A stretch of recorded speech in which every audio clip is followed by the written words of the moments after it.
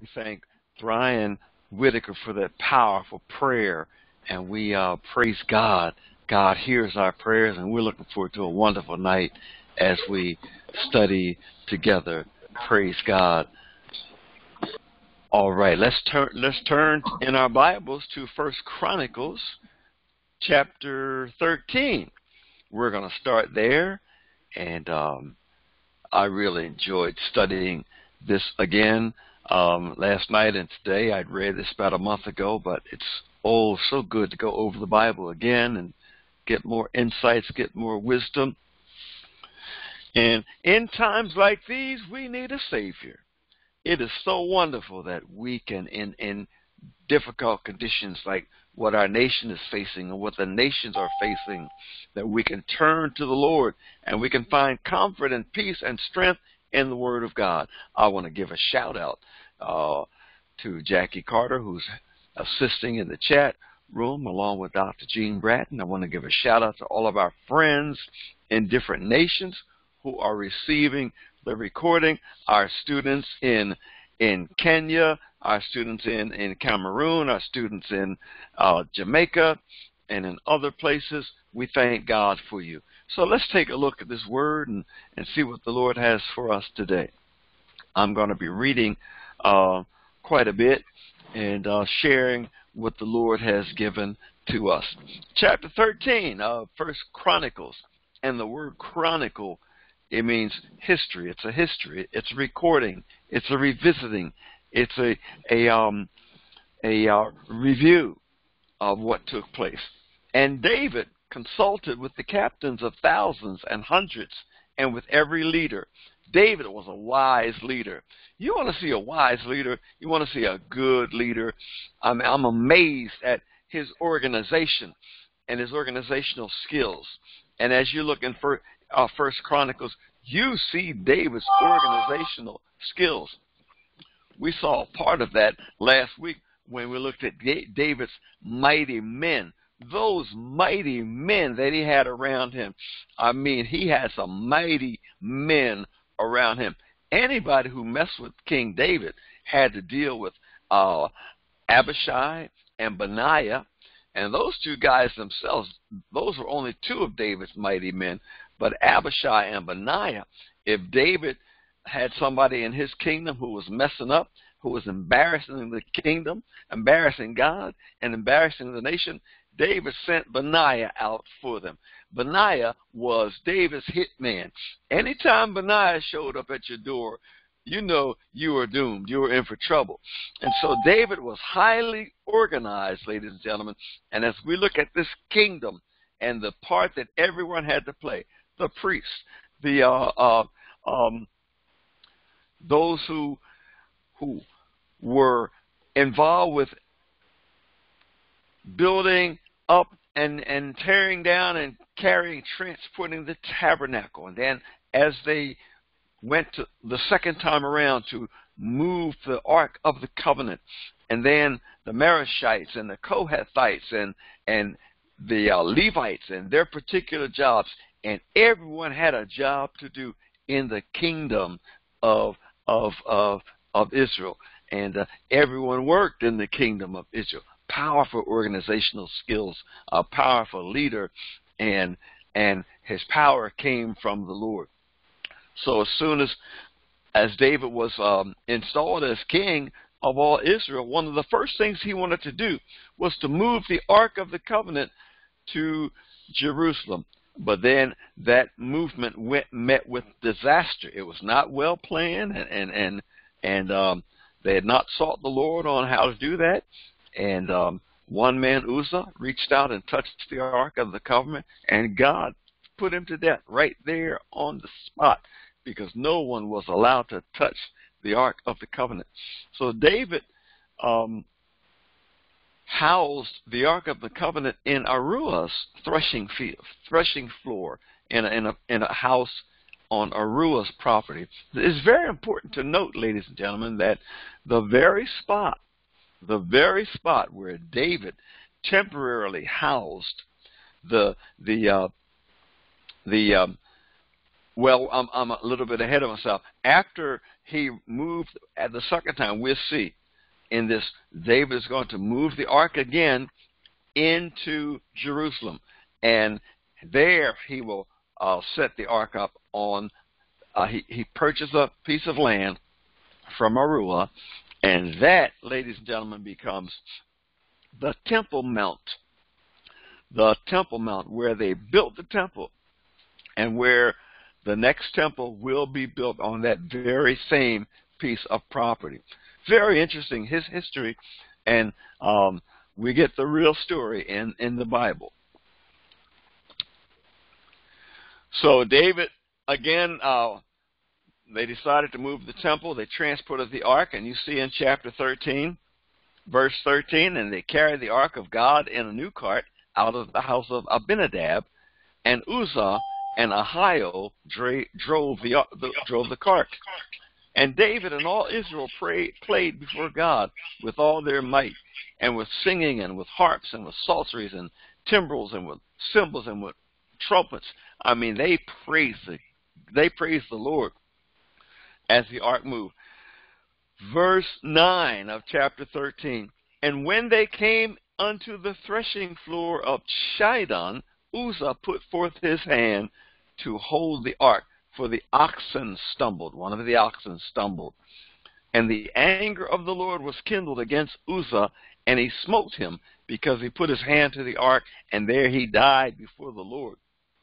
And David was displeased, because the Lord had made a breach upon Uzzah. Wherefore the place is called Perez Uzzah to this day.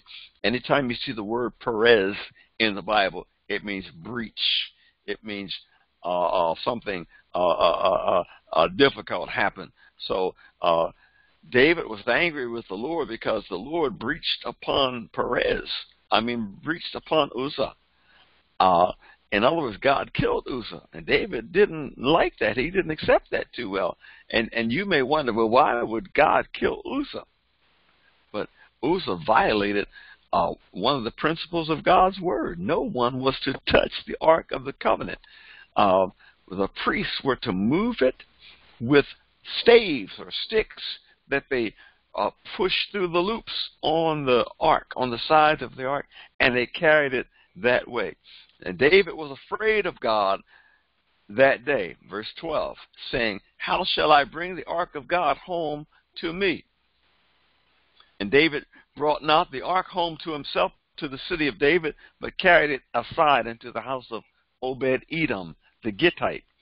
And so uh, Obed Edom the Gittite housed the Ark of the Covenant. And the Ark of God re- remained in the family of Obed Edom in the house three months. And the Lord blessed the house of Obed Edom and all that he had.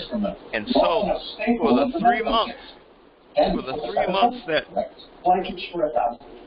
this another word for a fanfare. Please mute your phone. Mute your phone, everybody. Okay. C.O. Williams. Welcome, but mute your phone. Thank you. Okay. Thank you. We welcome you. Praise God. Star six, everybody, because we're recording. And we welcome Elder Lucia Williams from Birdsboro, Pennsylvania, up around Pottstown, up north of Philadelphia. So the ark remained there for three months, but while it remained there, Obed Edom and his household were, household were truly blessed because they had the, the responsibility of guarding and protecting the ark of the covenant. And you need to uh, take a little time out in your studies, ladies and gentlemen, to see the value of the Ark of the Covenant. The Ark was a box, a box about three and a half feet long, uh, one and a half feet wide, and about one and a half feet deep. And it was a it was a a box that uh, God housed had Moses to house the Ten Commandments, Aaron's rod that budded, and and a pot of manna. And Israel carried that ark with them everywhere they went because it was a reminder of the covenant. It was the ark of the covenant. It was a reminder of the covenant that God had cut with his people. He made a covenant with Israel that he would be their God and they would be his children and it was it was it is an eternal covenant. So you need to uh, study the ark and find out what happened to it, where it is now, where, if anybody knows, uh, Indiana Jones did not find the Ark of the Covenant, by the way. They made a movie of it, but Indiana Jones did not find the Ark of the Covenant, ladies and gentlemen. Okay, chapter 14. And Hiram, the king of Tyre, sent messages, messengers to David and timber of cedars and with masons and carpenters to build him an house. David had a good relationship with several kings around him. One was Hiram, the king of Tyre and Sidon. And Hiram sent him lumber, timber that he had cut for David to build the house and later to build the uh, he sent it to David when David collected materials to build the temple of the Lord. Verse 2 of chapter 14 And David perceived that the Lord had confirmed him king over Israel, for his kingdom was lifted up on high because of his people Israel. And then David took more wives at Jerusalem. David uh, had a lot of wives, ladies and gentlemen, but not as many as his son. I mean, his son Solomon went overboard with executive privilege. hey, Dr. Gene Bratton. Hey, Jackie Carter. We call it executive privilege. Well, praise God. Uh, Pastor LaFrance Johnson, we see David uh, uh, using his executive privilege. Something about a king. You give a guy a throne. Next thing you, you know, you know, he wants a whole lot of wives, a whole lot of concubines. And uh, David, verse 3 of chapter 14, he took more wives at Jerusalem, and David begat more sons and daughters. So he had a lot of wives and a lot of sons and daughters. And it gives you the list of them, um, and starting in verse 4. Now, when you read the scripture, when you read these names, read every syllable.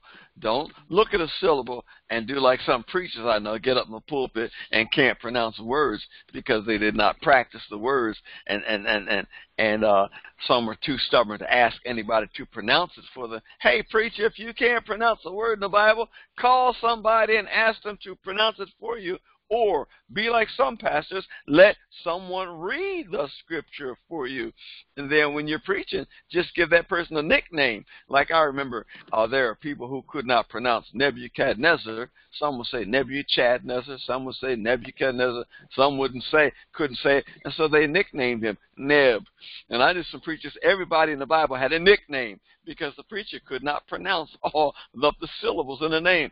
So don't be going through the Bible. Don't be reading chapter, verse 5 of chapter 14 and if if uh, and let you and uh, and no and and J. No, don't do that. No, don't read. Pronounce those uh, syllables. Take it one syllable syllable at a time. And Ibhar, and Elishua, and Elpalet, and Nogah, and Nepheg, and Japhia, and Elishama, and Beel Eada, and Eliphalet. Pronounce every syllable, and you can handle these names and words in the Bible. So the next thing we see, after David's declared king, his old enemies, the Philistines, come back at him and try to challenge his, his authority. So war broke out with the Philistines, and uh, verse 13, and the Philistines yet spread again spread themselves abroad in the valley. Therefore David inquired again of God, and God said unto to them, well, the first time they came out, Israel defeated them. Then they, here they are, they're coming out again. I mean, they took a whooping, but they they still want to fight fight with David. And so David always inquired of the Lord before going into battle. And so this next time the Philistine army appeared, verse 14, then David inquired again of God, and God said unto him, Go not up against after them, turn away from them, and come upon them over against the mulberry trees. Ladies and gentlemen, God told David, Don't go up against them. Go past them and turn again when you get to the mulberry trees. We see the importance and significance of a grove of mulberry trees in in, in Israel. And it, verse 15, God said to David, and it shall be when thou shalt hear a sound of going in the tops of the mulberry trees, that thou shalt then thou shalt go out to battle, for God is gone forth before thee to smite the host of the Philistines. So the first time the Philistines came, God, David inquired of the Lord, and the Lord said, Yes, go out against them, you'll defeat them. Then the second time these Philistines came on the scene, David inquired of the Lord, and the Lord said, No, no, no, don't go directly in, into battle. Don't go out on the field of battle. Go past them. And when you hear the sound of in the tops of the mulberry trees, then that's when you attack the Philistines. So we see in in Chronicles how David had such a close relationship with the Lord and how he inquired of the Lord and he asked God. We see this uh, often, and and it's such it's such a lesson to us that we should not do anything without inquiring of the Lord we should seek the Lord. And uh, I was just talking with my friend Roger Pond Jr. the other night, and Roger's uh, back taking courses, and I thank God for Roger. And Roger and I were talking about the first course that we took and offered in the school, and that's how to hear the voice of God. And if there's any one of you who who needs to more more teaching and training on how to hear the Word of God, I want to offer you one of the courses we have as an independent study, How to Hear God's Voice. And um, I thank Roger for bringing that to my attention um, so we can share with others what Roger and I and many others learned a couple of years ago. How to hear God's voice, how to make the right decisions, how to go with God's uh, blessings, how to get the favor of God on your life. We've got a marvelous course uh, that teaches you how to do that, and we get a prime example from David because he showed us how to hear from God, and then once God spoke, then he would do what God did. And ladies and gentlemen, when God speaks to you, be quick to obey him. Um, if if if you're not sure if, if it's the voice of God, you have the responsibility, not your pastor, not your wife, not your husband, not your bishop. It is your responsibility. If if you think God is calling you to the ministry, it is not your pastor's responsibility to clarify what kind of ministry you're to go into. I've seen many men and women whose lives have been messed up because they let some pastor or some bishop direct them into what a pastor or a bishop wanted them to do. No, I've always been one and I can, will continue to be one to believe that if God has called me to something, God is going to give me the specifics. Can I get an amen out there, Gene Bratton? Can I get an amen out there, Lisa Johnson? Can I get an amen out there, amen. Roger Pond? When God speaks to you and says, This is what I want you to do, then it is your responsibility to know that you know that you know that you know that it is of the Lord. Don't be so quick to run to your pastor and ask your pastor, uh, to develop a, a, a, a, pastoral plan because most pastors want what they're going to do. They're going to try to clone you into what they want you to do. They want to make little them out of you, and and and the bishop's going to do the same thing. But me, I've always been one like this. No pastor is going to show me what God wants me to do unless I first seek the Lord and I trust God and I, I want to lay this on you. This is no disrespect to any pastor or any bishop, but you ha- it's your life, it's your calling, it's what God wants you to do, and so it is your responsibility to take the time out and and do what David did, inquire of the Lord. David had to inquire of the Lord. God, should we go up against the Philistines? Because it means that it's the what's at stake is tens of thousands of lives are at stake. God, shall shall shall we uh, uh, attack this coronavirus this way, or uh, uh, shall I hire this person? Shall I fire this person? God, shall I do, uh, do what they're doing? Over in New York? Shall I seek seek Governor Cuomo's advice, or, or, or what shall I do? But the first the first thing, God, and and that's that goes for the president, and it goes for you as the head of the household. When when when there's a a challenge coming against you, as a believer, and I'm speaking to believers. I'm not talking to the president. I ain't talking to the politicians. I ain't talking to anybody else because I don't know if they're saved or not. But I'm talking to you. If God has saved you, you have the responsibility to nurture and cultivate your relationship with Him and ask Him. God says, Ask and it shall be given. Seek and you shall find. Knock and the door shall be opened. The reason why many believers get messed up and never fulfill God's calling on their lives is because they uh, do not seek the Lord, they do not fast and pray, they do not spend time in the Word of God. But most, most I'm talking about most Christians I know. When when God speaks to them about doing something, they they're so quick to run to another pastor or a group of Christians or to get somebody's take on this or somebody else's opinion. And and and uh, you know, if you have two Christians together, you got at least three three three opinions. Okay, and so seek the Lord while He may be found. Learn from David. Learn from David.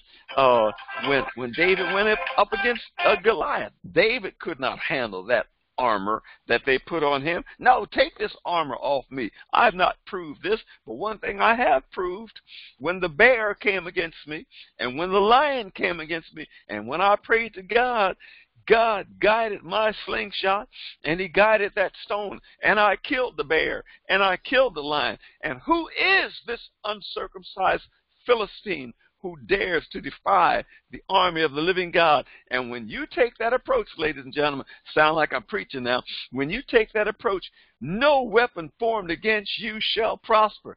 You trust in the Lord, no matter how it looks, no matter how great the adversary appears to be, no matter whether you're outnumbered. You and the Holy Ghost make a majority and no weapon that's formed against you shall prosper. I hope somebody got that. I hope somebody got that. I hope somebody got that. Amen. God will pick God will choose the stones from the brook to put in your slingshot. And the Bible tells us that the Holy Ghost guided that stone. When David flung slung that stone against Goliath, the Holy Spirit guided that stone right into the center of his forehead and God will slay your giants for you if you trust in the Lord. And and and and even if even in a, a thing like look at all that all the noise the Philistines are making out there, and they're calling us to go to war, and and and and our our our our cadre, our lieutenants and captains and generals are ready to go, but God says no, go past them, go beyond them, and when you get to the mulberry grove, when you get to the mulberry groves, then when you hear the sound in the tops of the mulberry trees, that's when you attack the Philistines. Ladies and gentlemen, as we trust in the Lord, there's no uh, nothing that can come against us that, that can defeat us when we trust in the Lord. So learn how to seek the Lord with every decision. Lord, shall I uh, uh, Shall I get married now? I'm picking on Brian now. And we we we got a good thing going on. I'm seven months old now. Seven months now. We got a good thing. Lord, shall I? Now I'm gonna stay out of Brian's business, but Brian, you make sure you talk to the Lord. Uh, somebody said, hey, just a little talk with Jesus. Make it all right. It's all right. It's all right. Just a little talk with Jesus. Hey, Brian, we got some folks on listening tonight. Wish they had. though please don't put anything in the chat window because you incriminate yourself. Please don't don't don't say anything. But there are people who, if they had just listened, if they had just listened, Brian, to the Lord, if they had just listened, Lord, shall I? Lord, should I? And the Lord was telling uh, some some people who, who may they be it may be in another nation, they may be may be right here. No, no, no, no. Go beyond the mulberry trees. When when you hear the sound of my voice in the mulberry trees, then that's when you buy that ring and put it on her finger. Okay, we're gonna move off from that. We're gonna move off from that. We're gonna move off from that. Praise God. Gene Bratton, come on and say hello to us.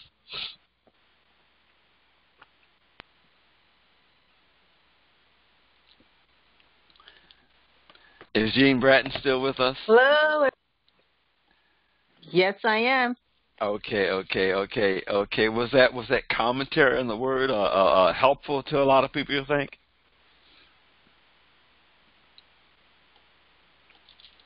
Yes, I'm having some audio issues, but okay, I okay, hear, okay. I can hear everything. It's just uh, responding, but yes, it's very helpful. When God Oh. says move, you move. Okay. And if he doesn't say move, what do you do? You sit until He Yeah. says move. Hallelujah. Praise God. Let's look at First Chronicles chapter 16. So they brought the ark of God and set it in the midst of the tent that David had pitched for. Thanks, Dr. Bratton. And they offered burnt sacrifices and peace offerings before God. And when David had made the end of offering the burnt offerings and the peace offerings, he blessed the people in the name of the Lord. And look what he did when they brought the ark into Jerusalem. And he dealt to every one of Israel, both man and woman, to everyone a loaf of bread and a good piece of flesh and a flagon of wine. David was a smooth operator, ladies and gentlemen. He was a smooth operator. He knew how to win the hearts of the people. David was so excited and so happy to move, to bring the Ark of the Covenant into Jerusalem that he blessed the people. The people they celebrated, they praised God and and and and, worshiped the Lord. And then David gave to every man and woman a loaf of bread, a piece of uh, meat, and a flagon of wine that they were to take home. Verse four. And he appointed certain of the Levites to minister before the ark of the Lord, and to record, and to thank and praise the Lord God of Israel. Ladies and gentlemen, we see here in this fourth verse of First Chronicles how God can change your calling. That is why. That is why.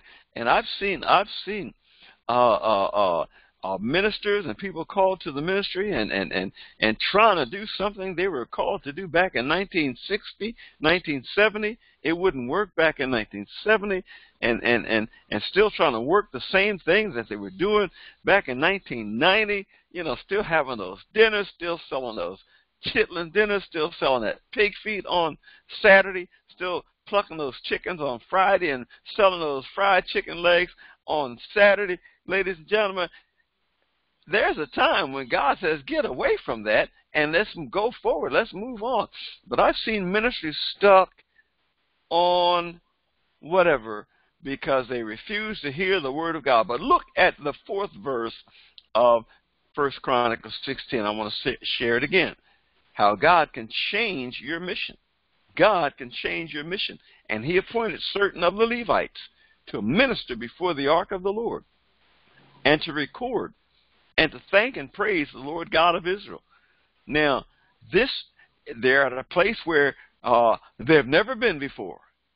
They've never been at this place before, and so God touches David, and David hears the voice of God, and and David appoints Levites whose job had previously been to carry the uh, uh, uh, uh, tabernacle, to minister to the tabernacle, to make sure it's properly erected, properly taken down, properly carried, and and and everything that dealt with the outer court and the inner court and the holy of holies. That was the Levites' job.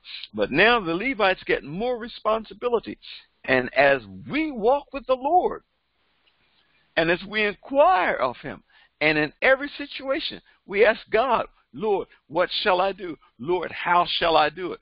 You'll see that God will even change the direction of your ministry. Case in point, when Back to Basics ministry began in 1996, 24 years ago, we began as a ministry, and and um, God gave us favor with the cable company. It was a cable company then. God gave us uh, equipment, and I, and I began making cable uh, uh, 30-minute segments for cable television. A cable company gave us free airtime. So Back to Basics Ministries began to promote the gospel of the Lord Jesus Christ, to publish tracts and publish books. We wrote books. We wrote Black Heroes of the Bible. We wrote other books, and we developed a cable TV ministry. And that was 1996. And as we listened to the Lord uh, throughout that time, uh, this ministry has published oh, we start we, we have our own publishing company, uh, Bethesda Press Incorporated. We bypass any other publisher. We do our own publishing, and we've published about 25 books. 25 books in in the life of this ministry. Um, and and not only that, but now God has uh, blessed this ministry to do many other things in His name, including having an international ministry where we're helping to plant churches in other nations and training men and women uh, for the ministry in many nations. So we've come a long way in just 24 years. And so um, I'm saying this not that we're any better than anyone else, but because we have been listening to the Lord. Yes, I've missed God quite often. I've missed Him many times. I've missed Him. Pride has gotten in the way, and this has gotten in the way, or or uh, somebody's opinion, or or uh, there are times when um, God to give me something, and the board of directors could not see it. And so you've got to be careful who you have on your board of directors. Your board of directors can mess you up. If you've got a stubborn, uh, person on your board of directors who does not want to move, who does not want to see growth, you're in trouble. And so um, I've learned over the years, hire them and fire them. Amen. What? what? I'm a, look. I'm gonna tell it like it is. What Donald Trump is doing is not. It's not. It's not uh, new. He, uh, when I first came into the ministry, anybody who was not willing to be a part of the ministry, I fired them. When, when we first started our first church in Chester, Pennsylvania, God gave me some people to help organize a brand new ministry. And God gave me names of some people. I said, God, I don't want to take people from any church. Uh, God said, I have some people who are not members of any church, and they will follow you. They are following you. And so when I outlined the ministry, this is the very first uh, church, Deliverance Tabernacle, uh, the year uh, 1980 there was one man, he came to a meeting and he just stood up in my face and mouthed up. He said, I don't follow any man. I do what the Lord tells me to do. I understood this principle. I said, yes, I understand that. But in this case, uh, uh, uh, uh, I'm looking for people who are going to follow what God gives me to do because God called me to be the pastor. He did not call you to be the pastor. And he got an attitude, and I fired him. I asked him to leave my house. I put him out of my house. Yes, Dr. Gene Bratton, I did that. Roger yep. Pond Senior, I did that. Yes, I did, and then I told the rest of the people who who who were on our provisional board of directors, if you're not willing to go where God leads us, then you have the there's a window up of opportunity now. You can walk out the door because where where God's leading us, and I told them, I told them where God is leading us, He's not led anybody else around around this area in that direction. I said, so we're going to do some things that are going to be different. Some things are going to be strange. Some things are going to be uh, uh, uh, uh, totally different from what the rest of the body of Christ is doing here in Chester, Pennsylvania. But you will see the hand of the Lord. And God raised up a ministry that was powerful. We laid hands on the sick in the name of Jesus. They got healed. God cast out demons out of people. We started the first food program, uh, a good a hot meal, a hot meal every day, five days a week for the hungry and the and and the the, the unemployed, and and we walked in areas where no other church had gone before. Gene Bratton was there with us. She's a witness, and many others. Uh, Lisa Johnson, co-pastor Lisa Johnson, was in another town. They witnessed the Lord doing these things. But I had to take a stand. And ladies and gentlemen, a leader has to take a stand. If God has called you to do some work, then your responsibility is to nurture the people following you. But if you've got some who are in it and not in it, and they're against it, they're going to fight everything you want to say. Hey, why waste your time? Why waste your time contending with bullheaded, stubborn uh, people who don't know the Word of God, don't know how to pray, won't pray, but they show up for every meeting to start trouble. No, no. I've hired many, Gene Bratton, and I've fired many. Okay? Amen. Uh, I hire them and I fire them. And and and guess what? Did it without a church meeting. Did right. it without a, a right. why should I call a church meeting to get rid of somebody who's embarrassing the whole community because he's running around town with somebody else's wife? Why should hmm. I call a church meeting when I know that I know it's my responsibility after I talk to brother so and so and he gets arrogant and doesn't want to do it, then the next step, uh, I take two brothers with me, and next step is uh, he's out of there. Okay, mm-hmm. he's out of there. He's out of there. And sometimes some of these things need to be done without involving the whole congregation, so you don't ho- pollute the whole congregation with what so and so did. And so it pays to walk with the Lord. When God starts moving in the mulberry bushes, that means He wants to do something.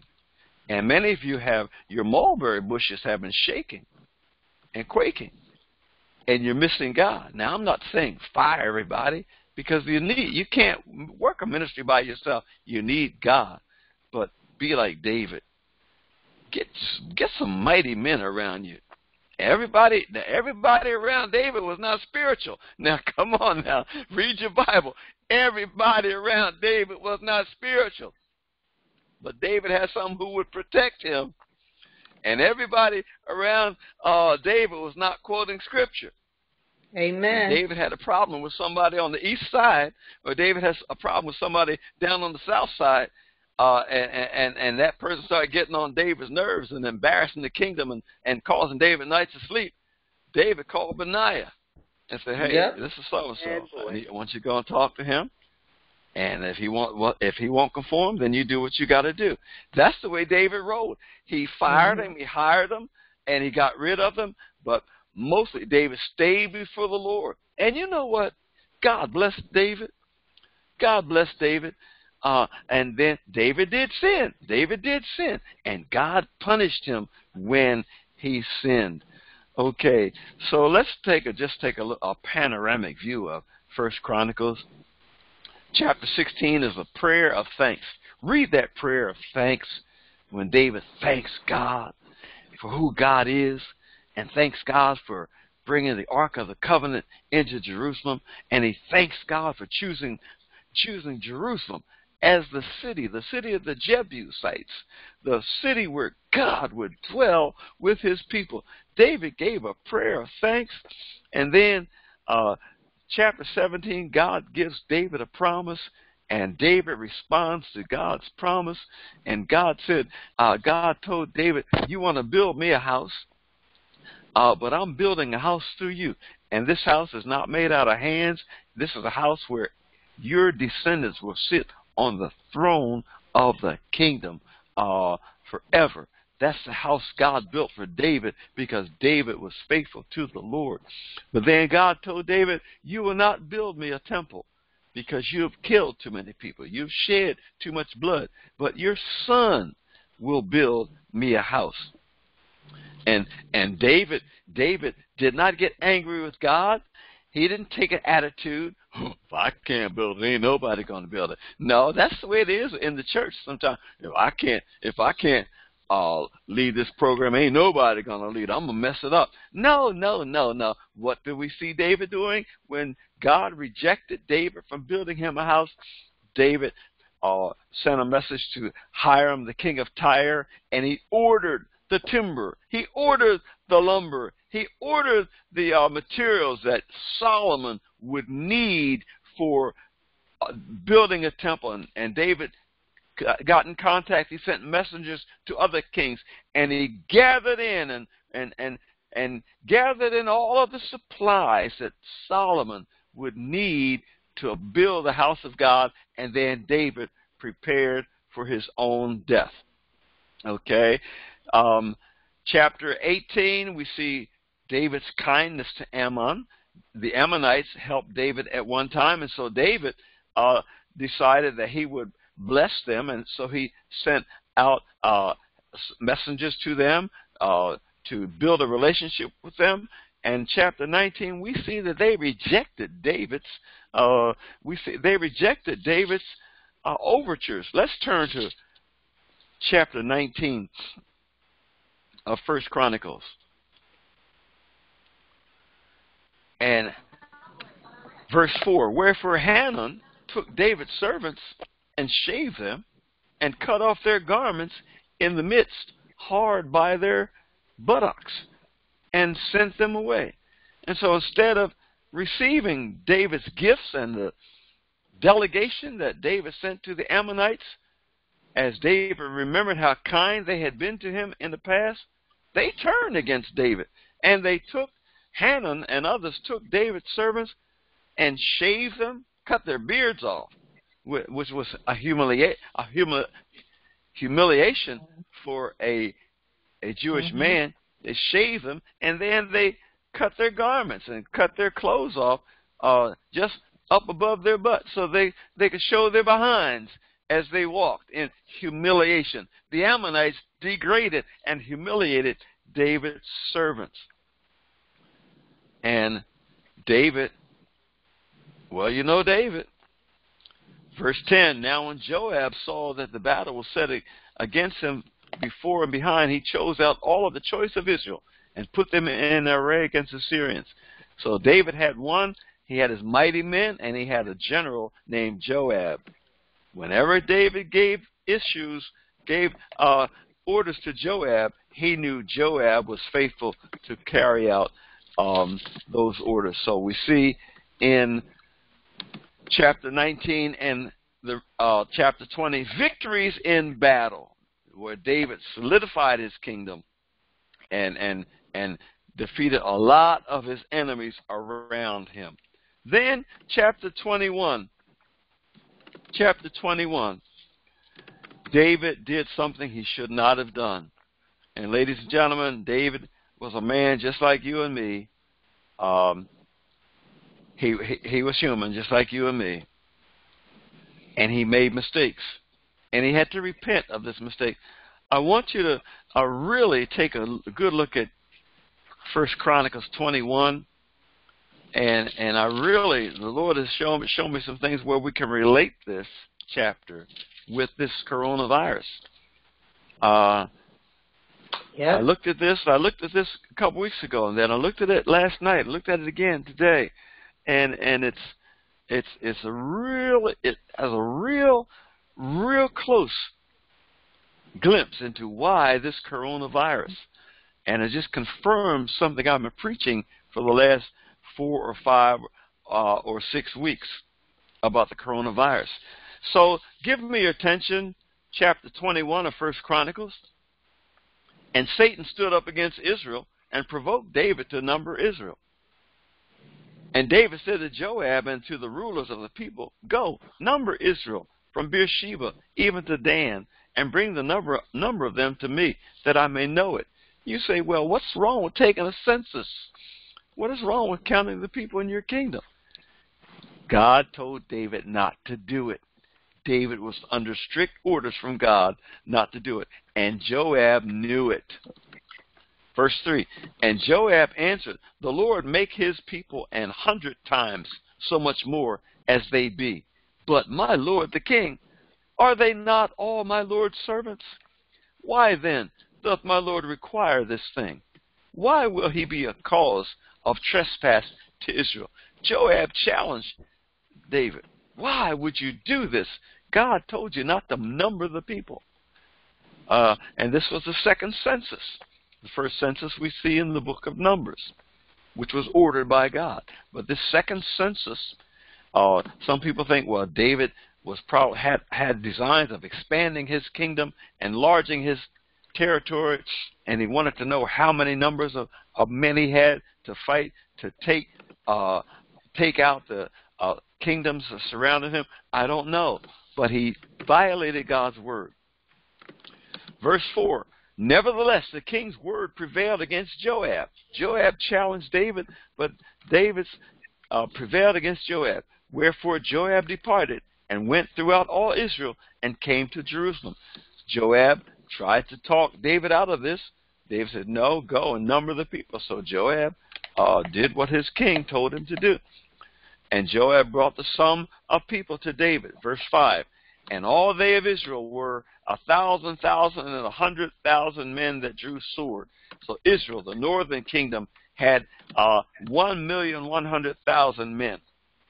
And Judah was four hundred uh, and seventy 470,000 men. Okay, so you have uh, over a million soldiers in the northern kingdom, well, the northern kingdom before the kingdom was divided. In the ten tribes of the north, you had 11, uh, 1,100, 1,100,000 men of fighting ability in those ten tribes. And in the south, you had um, 470,000 men uh, to fight.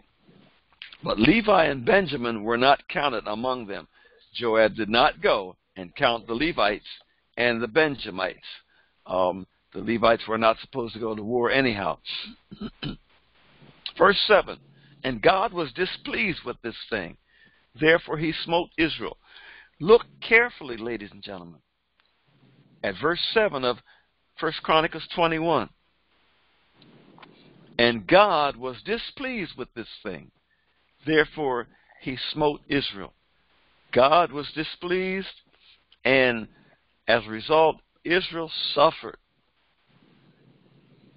You know, I still, and I told Jackie this, and I've said it again and again, I've said it on Sunday mornings in my preaching, and I continue to say it. I don't think America has repented yet. And with this with this coronavirus, and I know it's worldwide, but one third of the people dying in this coronavirus are Americans. One fourth of the total cases of the nearly four million are Americans.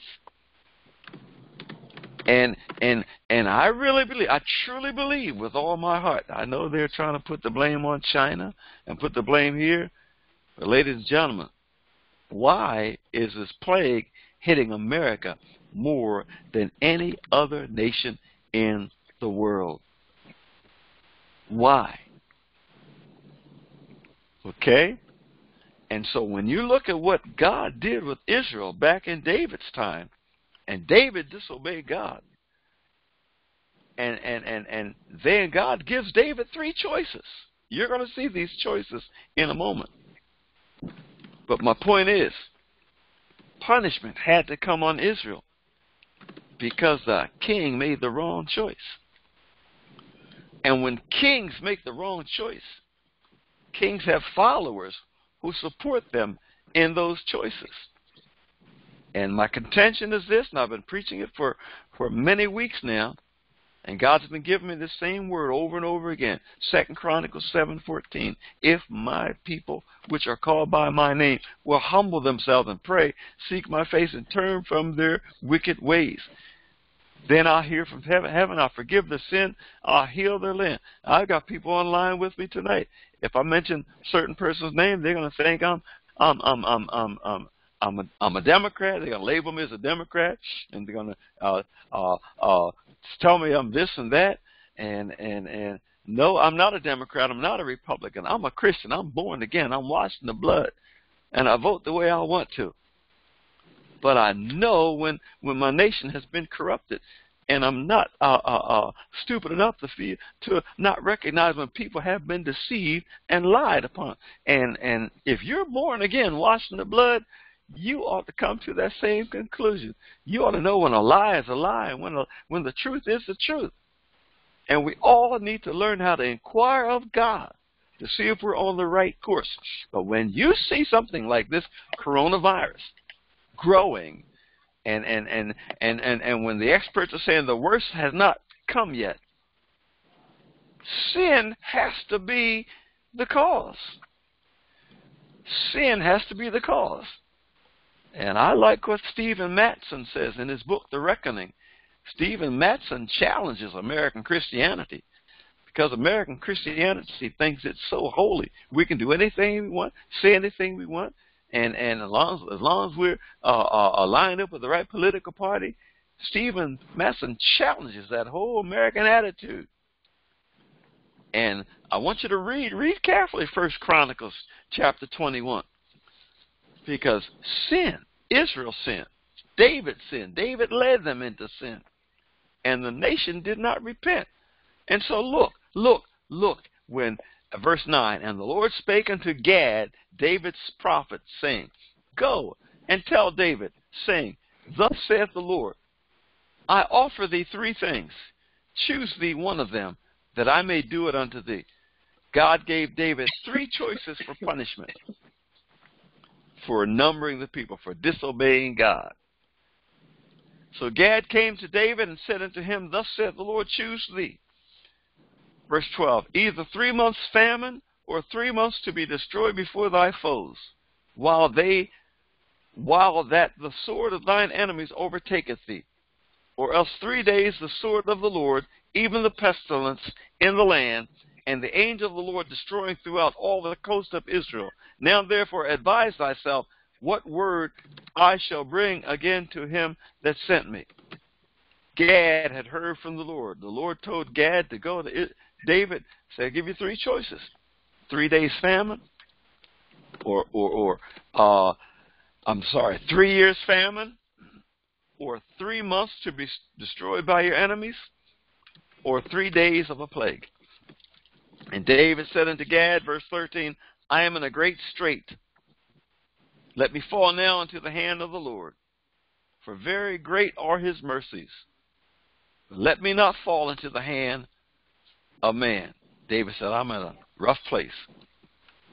But David said, I'm sensible enough to know that only God can have mercy on me. And so let me fall into the hand of God, not into the hand of man. Verse 14. So the Lord sent pestilence upon Israel, and there fell of Israel, listen to this, 70,000 men. I think the total before we came online tonight of deaths in America because of the coronavirus coronavirus is 80 it was 83,600 and something. Crawled up to uh, pretty close to 84,000. But David chose the plague. 70,000 people got killed in the plague in the 3 days of the plague. Ladies and gentlemen, God does not want to kill, he does not want to destroy, but God is God. He's holy and and I I don't hear many people crying out unto the Lord, ladies and gentlemen, that we have sinned against God. I don't hear it from our our president. I don't hear it from the leaders. I don't hear from the church officials. I hear very few people crying out, Lord, forgive us. We have sinned against you. Lord, stop the plague. We have sinned against you. We repent. I don't hear that cry. Perhaps God does, but I, I'm saying from me, I don't hear it. But I've been, I've been preaching for several weeks now that we as a people need to repent. And we, the church, the church, one of the most stubborn, ladies and gentlemen, one of the most stubborn organizations on the face of the earth is the church. And and the most and if we're looking at the superlative, the, the most super stubborn organization on the face of the earth is the American church. You can't tell American Christians too much. Oh, I thank God you all come on. You listen to me, listen to me teach, you listen to me mouth off. But a lot of you are opinionated, and and and there's certain things you're not going to accept, certain things you're not going to change. But we need to repent, ladies and gentlemen. We, the the, the blood wash. We need to repent. We need to lead this nation into repentance. If you're waiting on the president to repent, if you're waiting on the Congress to repent, if you're waiting on your neighbor to repent, hell will freeze over. Because they are more stubborn than we are who are the blood washed. Deliverance begins with us, you and I. We must repent. We must turn from our sins. We must turn from our wicked ways. Then God will hear from heaven. He'll forgive our sins and heal the land. I know that's kind of deep. I know that's kind of tight, but I also believe it's right. And when you look at scriptures, when you look at scriptures, the many times, do a search. Do a search of the plagues that Israel suffered in the history of Israel. And you'll find every plague came after sin. And when the people repented, then the plague ceased. Even the book of of uh, uh, even before the, there were kings in Israel, even during the times of the judges, when Israel was, was defeated, it came after they sinned. But every time they repented, God restored them. Very close relationship, ladies and gentlemen. between this coronavirus and and and and and our stand before the Lord, our humility before the Lord. And I'm saying this because it grieves my heart because there are worse things to come. As I was telling Jackie the other day, worse things are coming. If we don't get this right, how are we going to be able to take it when worse things hit this nation and the nations? And so I've given my commentary, but I've, I share the word, what the word has said, and um, we talked we talked so, a little bit about many of the things in in Chronicles. We won't be able to finish it all, but as you look more in Chronicles, you'll see the assignments that uh, people had. Uh, temple assignments. The musicians had assignments. The porters had assignments. The porters were the gatekeepers. Those that's where the mighty men of David, David's mighty men were. They were gatekeepers. They were some bad dudes. Uh, somebody they had treasurer overseers, people who guarded taxes, made sure people paid their taxes, and they guarded the uh, taxes. Then chapter 27, the king's captains, the tribal rulers, and then chapter 28, Solomon's assignment. Chapter 29, we see gifts from the people, sacrifices of praise, sacrifices and praises, and then David's death. So David recognized it was up to his son Solomon to build a house unto the Lord. As much as David loved the Lord, as much as he wanted to build God a house to live in, God chose Solomon to build that house for him. And David, before he died, he does all he can to make sure that Solomon has everything he needed to build a house unto the Lord. We're looking at a man who loved the Lord. We're looking at a king who loved the Lord. We looked at a at a king who who who uh, was easy was was was easy to confess his sins. Uh, when Nathan came to David after the adventure with um, Bathsheba, David repented. And when Gad came to David after David's venture to uh, count another census, David repented. We see a man whom God said, He's after my own heart. He was human. He made mistakes. He erred. He led people in the wrong direction. But he repented. Repentance is so important, ladies and gentlemen, in my life, in your life, and in the life of the king. God honors repentance. He said, If my people, which are called by my name, will humble themselves and pray, seek my face and turn from their wicked ways, then I will hear from heaven. I will forgive their sin. I will heal their land. What a promise! What a promise! What a promise. And God is not a man that he should lie. God can turn this nation around. Boom, in the twinkling of an eye. God can turn this nation. He can halt the plague. He can halt the plague in the nations. I believe God is waiting for people to humble themselves. And and and and when we humble ourselves, it starts with us. It begins with us. It begins. Don't you know? Don't point the finger at the president. Don't point the finger at uh, uh, uh, the uh, the Democrats. Don't point the finger at the Senate, the House rep- representatives. Don't point the finger at at these people, but point the finger at you and me. We have sinned against God. We have turned our backs to Him. We kick God out of the church. We kick God out of our home. We kick God out of our marriage. We kick God out of the United Nations. We kick God uh, uh, out of the universe. And God Almighty, who is worthy to be praised, is waiting for mankind to humble themselves and call upon the name of Jesus.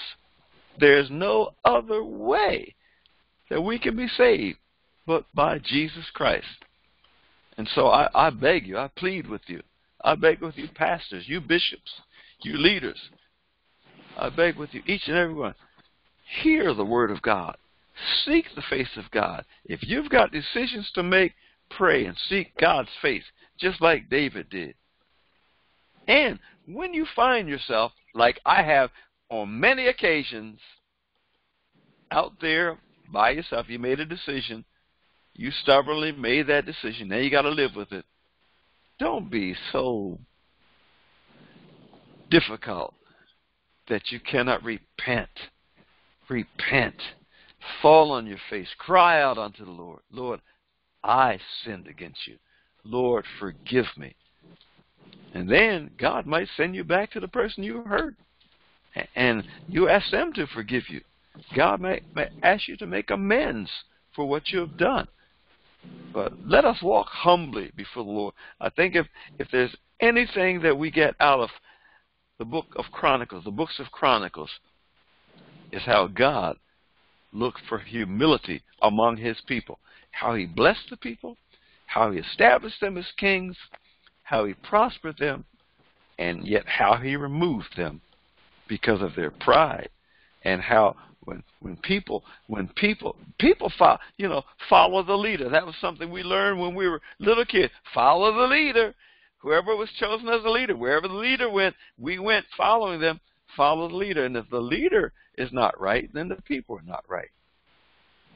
And so we all have to spend much time before the Lord. We've been born again, washed in the blood of the Lamb, and God requires of us. What does He require of you, O oh man? But to do justly, love mercy, walk humbly before your God. He said this in Micah do justly, treat people justly, do justice, love mercy, walk humbly before your God. This is Pastor Carter. It's been a real pleasure teaching uh, the Word tonight. I know I got off from the Word a lot, but I think we, we covered, in essence, the contents, but it's up to you. By the way, it's up to you to read these scriptures. Every week we have a list of scriptures, and you should all have your syllabus by now with your assignments. If you're not, you need to get in touch with me. Get the reading assignments. I do not, I do not uh, want to see people taking uh, this course for credit without reading your assignment. And also, if you're not taking the course for credit, you have a responsibility to read the Word of God. Don't take anybody's word for the Bible. Read it for yourself. I can't cover all these scriptures in just the one hour, hour and a half, whatever we have. It is up to you to spend time each week reading these scriptures. I'm expecting you to do so. I'm doing this myself, reading these scriptures. And after you read, read you read uh, with with with an open heart. Let the Holy Spirit speak to you. God's word is alive. He he he he wants to speak to you. He wants to reveal himself to you through his word. So get all that you can. Get all that you can. For the time is coming the time is coming, ladies and gentlemen, where many of us may not have access to the Bible. The time is coming, ladies and gentlemen, where many Christians will not have access to the Bible. I'll leave it there. So you seek the Lord, study, show yourself approved. Pray, pray, pray. Worship God. Praise God. When you get bad news, bad reports, worship God. You belong to God. No weapon formed against you shall prosper. God's going to take care of you. Stop fretting. Stop freaking. Uh, stop uh, panicking. Trust in the Lord. Blessed is the man that makes the Lord his trust and respects not the proud, nor such as turn aside to lies. And do as jo- Dr. Bratton always uh, advises you to do. Get some sweet sleep. Get some sweet sleep. Get some sweet sleep. Some of you need to learn how to get some sweet sleep. In my household, I know somebody's getting some sweet sleep because I can hear them. I mean, I can hear them, man, and they can hear me. they know I'm getting sweet sleep. How can Jackie know I'm getting some sweet sleep? Because Jackie can tune in any night and she'll hear.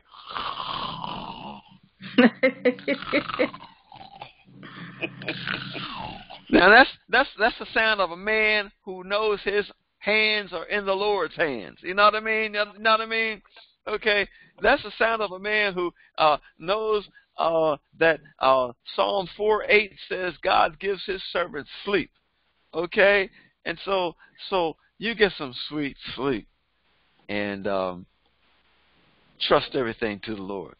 Amen. Praise God. We're gonna open up this up uh, to questions and answers. I'd love to hear your questions, your answers, and the responses uh, that Jackie and Gene will bring to my attention from the chat window. We're going to stop the recording. We will send this recording out tomorrow morning uh, to everyone. Um, it's taking more time for our ser- service provider to process our recording because of the number of online churches. I'm I'm mm, just praising mm. God for the number of online churches. But you'll get this recording tomorrow. In the meantime, you can give me a call, send me an email, or let's chat with you for a little bit.